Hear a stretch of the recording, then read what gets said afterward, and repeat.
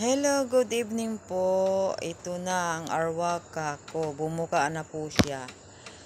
Pinicturean ko kanina ng hapon, 3.30 yata yun. Tapos, 7.20. Ngayon, 9.20 na.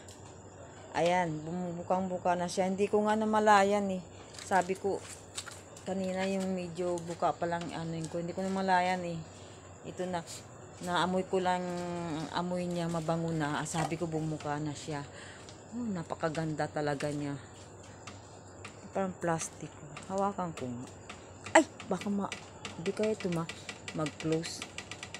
Ayun, ang ganda sa loob niya. Oh, parang ano... May... Ayan, di, light... Light... Light yellow na maliliit. Tapos para may star sa dito sa... Sa harap. Ayan, wish na po tayo. Sana matapos na po yung COVID-COVID.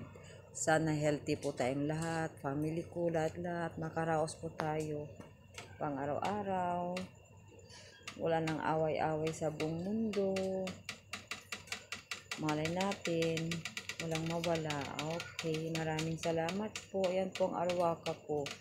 Kaya sabi nila, hindi midnight daw lang siya bumubuka. Hindi totoo po. 9 pa lang po bumuka na siya. Saka sabi po nila once a year lang. Hindi rin po totoo. Dahil pangalawang bulaklak na po niya ito ngayong taon. Last June na bulaklak siya. Ngayon, Jul June, June ba? Ah, 2 months ago. Ngayon, July. Bulaklak ulit siya. O sige, good night, queen of the night. Bye-bye, ang gadang-ganda mo. Marami ito sila kailang nagalaw. May, may dumaan dito kasi hindi natuloy yung iba. O sige, ang bango-bango niya. Bye-bye, queen of the night.